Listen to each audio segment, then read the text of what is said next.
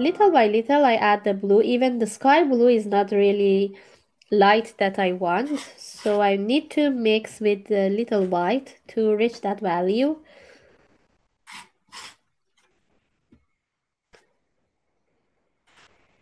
And depend on the size of the canvas that you use, it's it's better you choose the amount of paint that you would like to work. I think mine is not small, it's 8 by 8, so I have more space for the background. Need more white to mix with blue.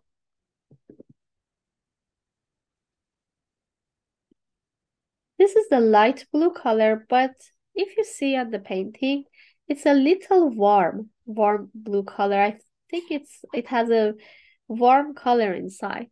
It's so tricky, so please be careful because uh, I, I want to add this color, the yellow ochre or raw sienna into my blue. If you add a lot, you can reach the green color and we don't want to have a green.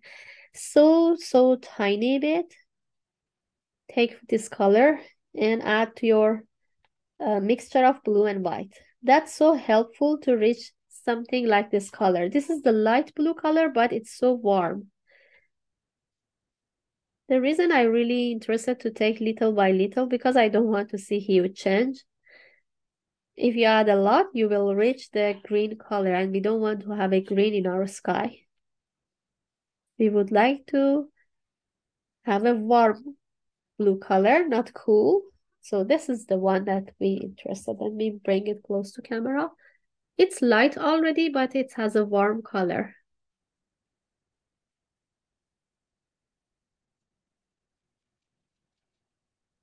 With bigger brush, I take this color, I apply it here. Any part that you need to cover it by sky color, please apply with this blue color. So flatly, you can cover it. Even the part that you add for the drawing and you don't uh, need that, you can cover it by the tone. In some case, it's interesting to have different value. So at the same time, you can bring this cool and darker blue. It's not much dark, but it's darker than the one we make. You can bring it some brush stroke and painting. Add some tone like that. Then the rest, cover whole your background with this color. I think the light is a lot on my side. Let me turn down the curtain.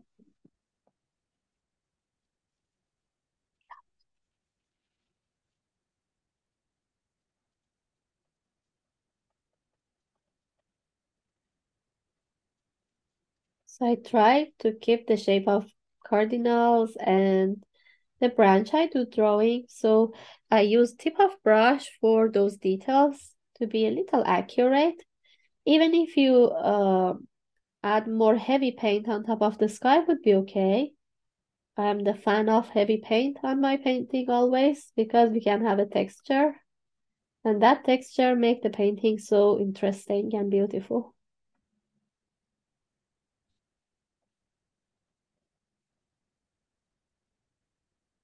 And even heavy paint when you use it. It's so lovely because uh give you a chance to bring another tone to have a light and dark on top shadow. And the the color takes a little more time to get dry so you have a chance to bring another value on top. Like now i add another color like this blue beside the tree to make different tone light and dark even cool and warm in my sky part. Because on top, we would like to add the snow on top, and it's okay to have uh, light and dark blue. Just randomly add some brush stroke.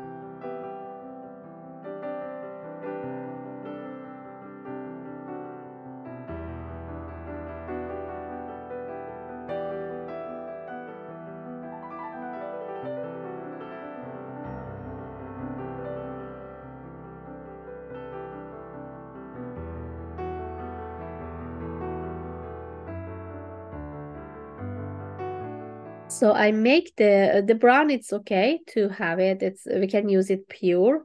And then with this creamy color, we mix it by white. We use pure white and this one for the shadow of tree trunk.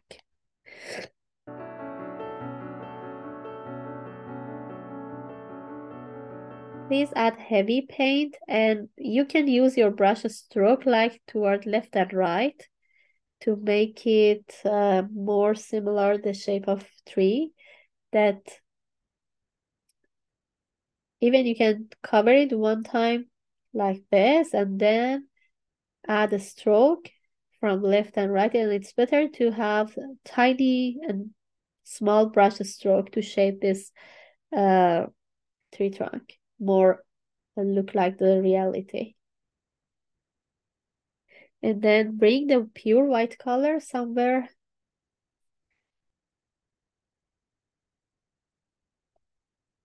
I'm going to add a little tiny stroke.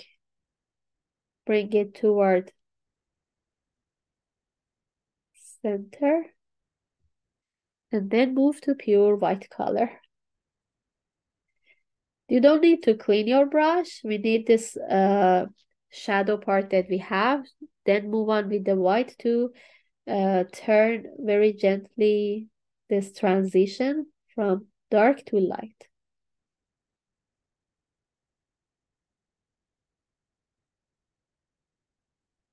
Then more pure white. It's already light creamy color here, so please bring more pure white color to let it make the uh, details more.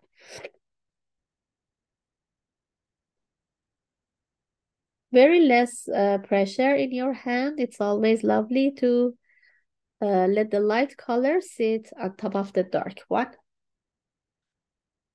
And even anytime you can clean the brush, sometimes it's okay to take a pure uh, brown color for the shadow and bring it here. Let it move and mix with the heavy paint that you already have on your surface. I would like to make more shadow on the back of bird.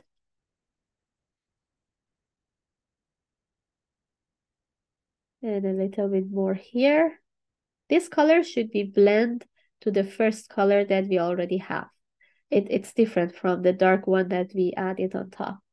Because of the shadow, I would like to have this brown. And a little bit pure blue always, because of the sky, can affect and you can add some stroke with this pure blue color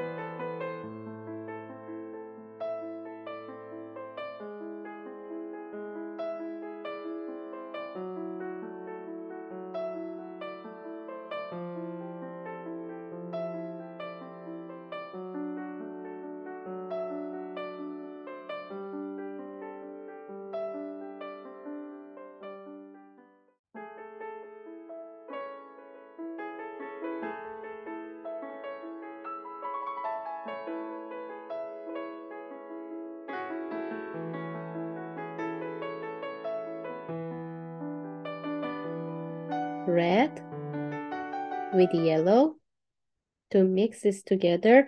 You can add a little bit white to let it more uh, be more lighter because white immediately make it lighter. The yellow cannot do that.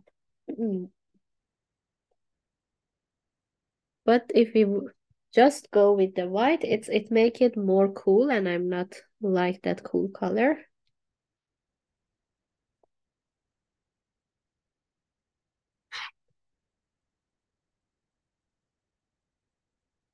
More yellow and it depends how much white how much red you add because red is so powerful it's not easy to change the value of red. Now it's better. We have a little warm orangey tone. We have pure red and we need shadow of red that's mixing red with brown. That's good for shadow part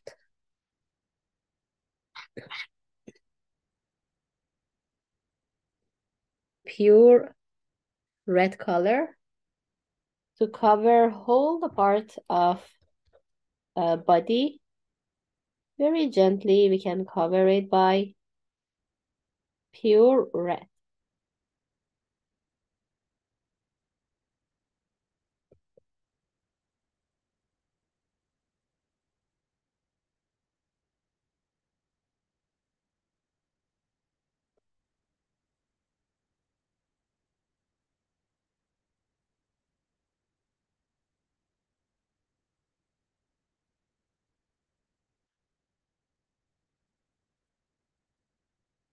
Okay, after you cover whole cardinal with the red, pure red color, we need to make it more like a feather. So we need to apply with light and dark color on top. Now we need heavy paint. I take, without cleaning my brush, I take the light color, the light value, and try to add heavy texture around uh, the face here tiny brush, brush stroke to shape it like feather. Let me bring it close here. You see here?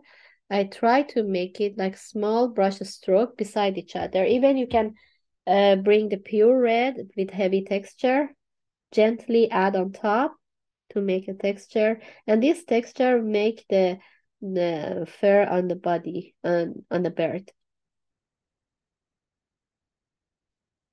Tiny stroke like that.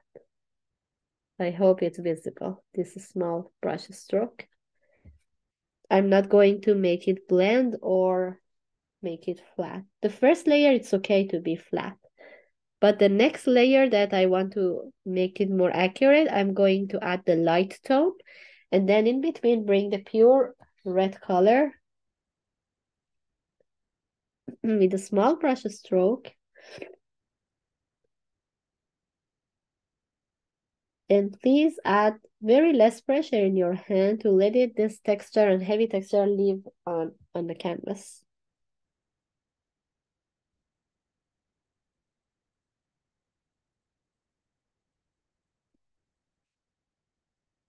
Just close to the face, it's more light. So I use this light color for that part. And then move on with pure uh, red color. Then we will go on with shadow part.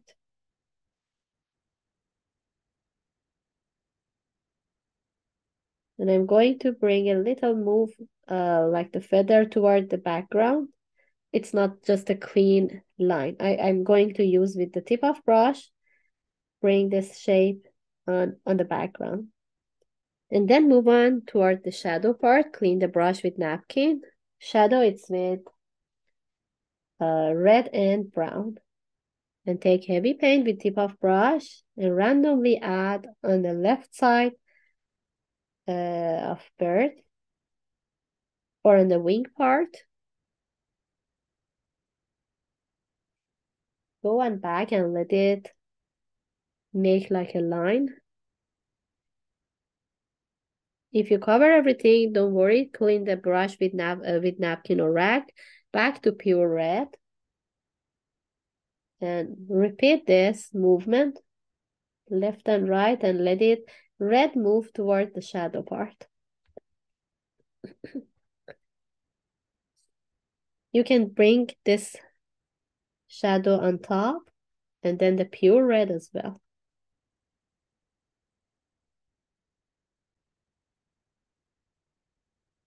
And continue with the shadow toward the tail. The bottom of tail is darker, the top is lighter. So I'm going to add the darker and the shadow part on the bottom part. And then on top, I'm going to add pure red color. Then with tiny line and brush stroke, cover it on a chest.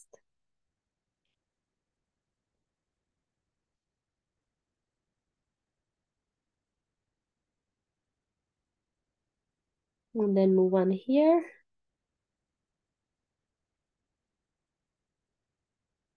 Then clean the brush. We we would like to move on for for big.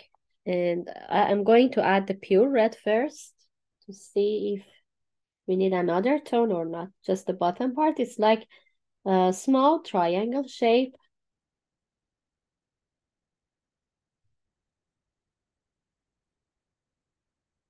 Like that. The top part is lighter, so it's better to do uh, with the lighter value.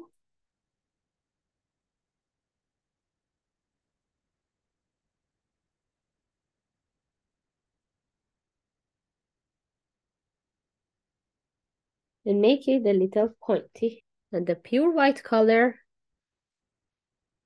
just the dot as a shine, we need to bring inside the eye. When it's wet, sometimes it's not easy. I'm going to start everything by the mid-tone color, which is this pure color. I start with that, adding flat tone everywhere. Actually, we have this part which is black by the same color. So if I color it by, um, hold, hold the bird by this color, I disappear that one. So let me add the brown to make it separate. I don't want to lose that. And then with the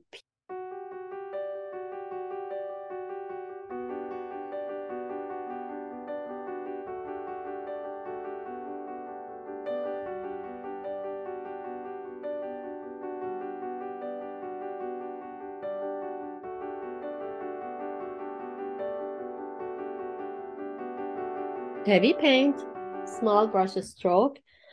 I imagine this part is a separation between the wing and the, the body. So I move on with small brush stroke to let the light color sit on top of darker and creamy. I will bring another tone, which is this one, the pure color that we use already on top. So if it's really light, don't be worried. Just add a small brush stroke to let it like that. Be heavily on top of bird body like this, be visible. And then move on into the pure yellow ochre or raw sienna. The same technique, follow that. When we have light color and the mid-tone at the same time, it give us a nice blending together. And when you use heavy paint, already you will see the feather shape.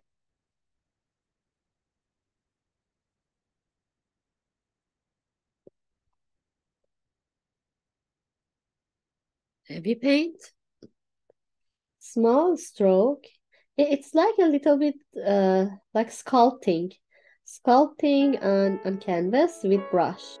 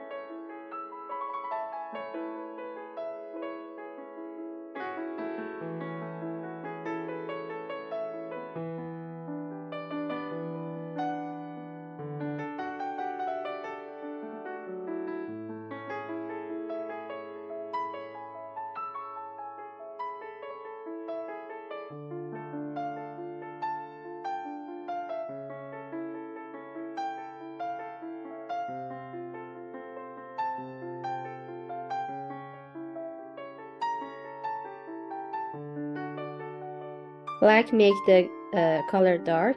And I have this brown as well. I don't want to waste the color. So I can add that too. This is more dark. And then with the green, I can make it lighter. I bring it here. A little white and yellow make my green lighter. White can make it light and yellow can make it warm. When you move on close to bird, be, care be careful. It's come a little bit up because uh, it doesn't show any foot on bird. It move on a little bit with the green on top of bird. Even you can add heavy texture so flat here. And then with the tip, you can make it more accurate, a little bit uh, like a tiny stroke. Bring it up or a little bit down. And in between, you can use darker value or lighter value.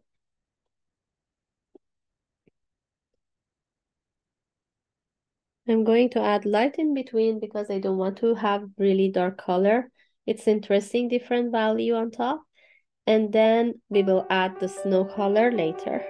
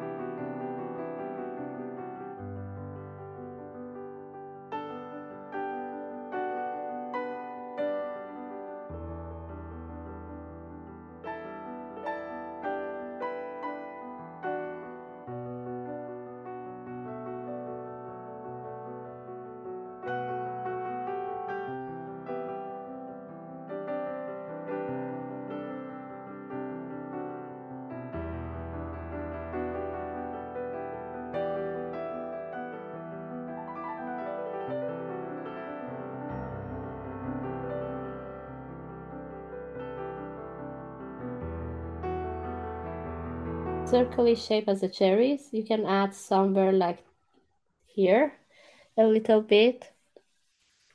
And then on top of body, uh, the bird tail, a little bit here, three of them.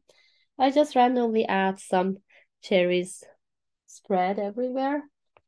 Not much, a little here. But the red is spread everywhere and it's make more beauty. And some here. Just a quick circle shape, connect together. Even we can we can use different value if you like. You can add some part a little darker. With one or two stroke.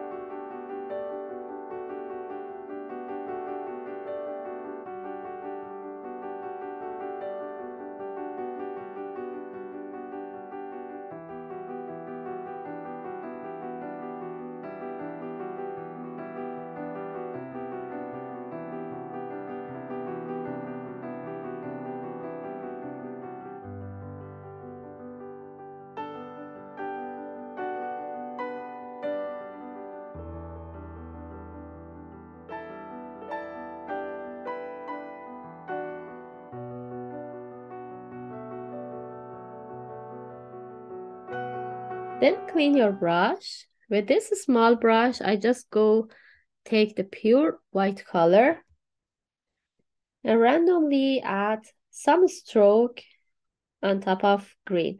Even when the green color be wet, it's it's more okay because uh, the snow it it's comes on top and mix with the green. It's okay if it's not really shiny and sharp. You can leave it mixed with the green color even. Randomly add some brush stroke and I use rounded pointy brush and try to add a curvy line on top like that. As I mentioned, if it mixed with the green, doesn't matter. Then clean the brush, take more